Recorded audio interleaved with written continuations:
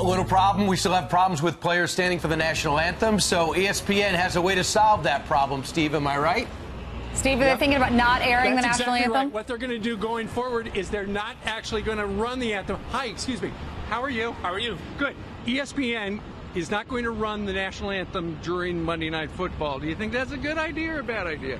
Uh, I disagree with that. Why? I think it's uh, it's a core part of America, and kind of doing away with something like that. Not a big football fan, but I do know it's important to the American values, and right. kind of taking away the national anthem. I Are, don't think so. are you watching less football?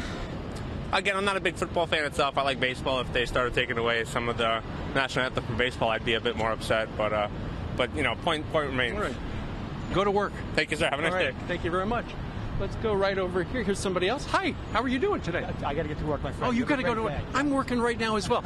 All right, let's talk to these people right here. Hi, excuse me. Hi. Hey, listen, uh, ESPN is not going to run the national anthem before Monday Night Football. Do you think networks should run the anthem? Absolutely. Why? Because that's the foundation part of our country. It's important. I agree, 100%. We won't be watching. But it looks like baseball is your sport, not football. Absolutely. Yeah. Go Yankees. All right.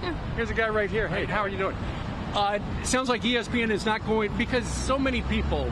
Uh, the anthem has become polarized for a lot of people. ESPN has decided they are not going to run it on television during Monday Night Football. Good call, bad call. Uh, it's up to them, but I feel you should stand.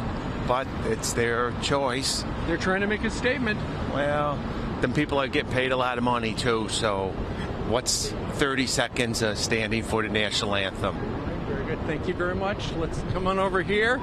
Here's somebody. Wh- What's your dad's name? Mike Hobart. Okay, and uh, if he's watching right now, what would you like to say about the national anthem? Because E ESPN apparently is not going to run the national anthem during Monday Night Football. I think it's disgraceful. I think it, I think he would think the same. So, I think they should play it. You can't close your eyes and pretend the problem's not there. Infantile.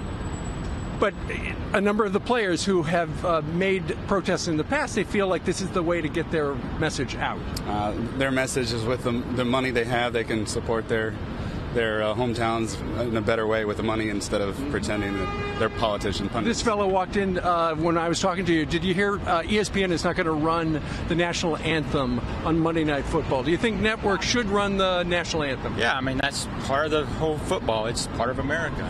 He's just giving in. Are you watching less football? Oh, yeah, definitely. Yes. And this lady, why are you watching less football? Well, because they're disgracing America for a national anthem. They're sweeping it under the rug.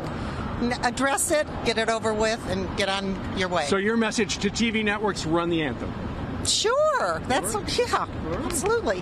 Hey, thanks for joining us today. Welcome. So Ainsley and Brian, it looks like uh, of the people I talked to, everybody feels the same way. Yeah, it's unanimous. Run the anthem. Yeah, better than Gallup, Steve, for my money. Better than Gallup, a little better than Rasmussen. Steve Doocy, thank you. Thank you, All right, Steve. see you in a minute.